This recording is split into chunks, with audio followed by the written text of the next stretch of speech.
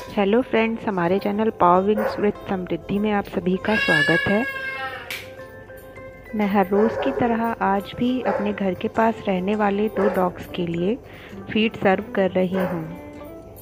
थोड़ी देर पहले मैंने दो रोटियाँ सेक ली थी, जिनको मैं छोटे छोटे पीसेस में तोड़कर रख रही हूँ।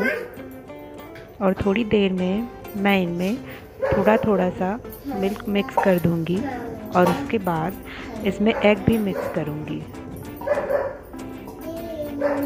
अगर आपको वीडियो अच्छी लगे तो इसे लाइक कीजिएगा, हमारे चैनल को सब्सक्राइब कीजिएगा और बेल आइकन को ज़रूर प्रेस कीजिएगा ताकि हम जब भी कभी न्यू वीडियो अपलोड करें, आपको उसका नोटिफिकेशन मिले और आप हमारी वीडियो को मिस ना करें।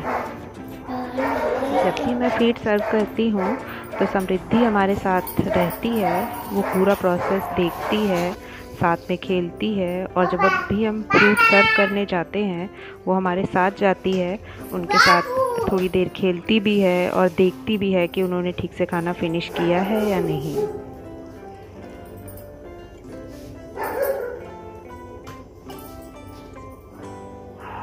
हेलो फ्रेंड्स ये हमारे बाहर स्ट्रे डॉग्स हैं तो फीमेल हैं। एक मदर है और एक उसकी डॉटर है। ये फ़ूड उनके लिए प्रिपेयर हो रहा है और हम लोग डेली ऐसे एटलीस्ट इन दो को तो खिलाते ही खिलाते हैं। एक्चुअली आज कंक्रीट के जंगलों में लोगों के मकान, कारें और हैसियतें तो बहुत बड़ी हो गई हैं बट दिल कहीं ना कहीं बहुत छोटा रह गया है। तो ये छोटा सा प्रयास है अपनी तरफ़ से बेज़बानों को एक टाइम एटलीस्ट खाना देने का। और अगर आपके घर में छोटा बच्चा है तो उसको दिखा करके ऐसा ज़रूर करिए, क्योंकि बच्चे कहीं ना कहीं आजकल बहुत प्रोफेशनल होते जा रहे हैं।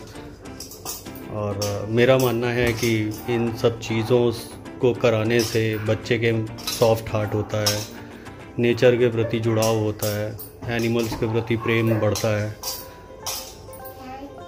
और ये एक ऐसा संस्कार है जो कहीं ना कहीं उसके मन में माता और पिता के लिए भी इज़्ज़त पैदा करता है। आजकल तो वो दौर है कि हमें इज़्ज़त खवानी पड़ती है। तो चलिए, देखते हैं आगे क्या होता है।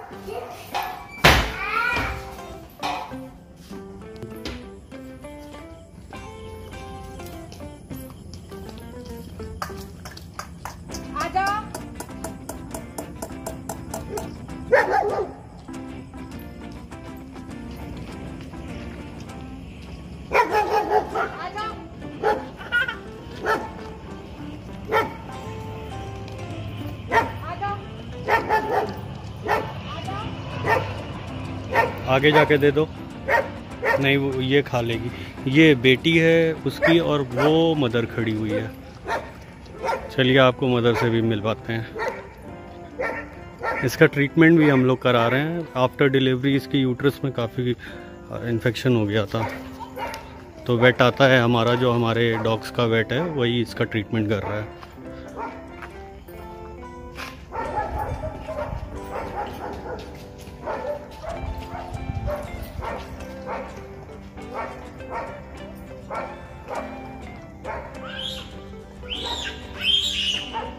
अब देखिए इसकी हालत, अगर हम लोग खाना ना दें तो ये बेचारे कैसे ज़िंदा रहेंगे?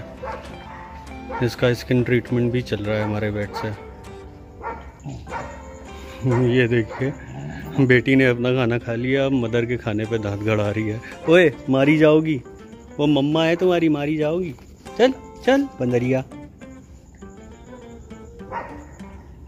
सच बताएँ, इस दो रोटी और थोड़े से दूध और हाफ़ अंडे से दिल में इतनी खुशी मिलती है कि कम से कम कुछ तो अच्छा कर रहे हैं हम लोग। एटलीस्ट नहीं कर पा रहे हैं, कोशिश तो कर रहे हैं।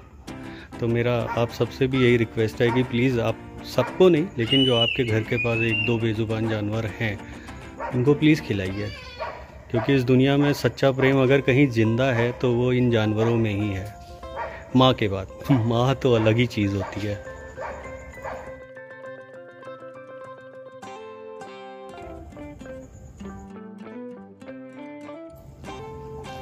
के जो काम किया जाए उसको मम्मा ये तो दिखाई दिला ये। ये दिला ये। सच बताएँ फ्रेंड्स तो दिन भर कहीं भी आप जाओ कितना भी थक जाओ लेकिन घर वापस आने के बाद जब ये वैगिंग टेल देखो ना तो दिल में बड़ा सुकून मिलता है कि चलो एटलीस्ट कोई तो दिल से वेलकम कर रहा है। बच्चा आते ही जेब में हाथ डालता है कि पापा क्या लाए?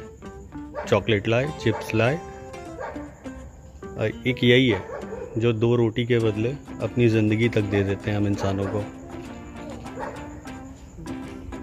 चलिए, इसी अच्छे काम के साथ इस वीडियो को एंड करते हैं।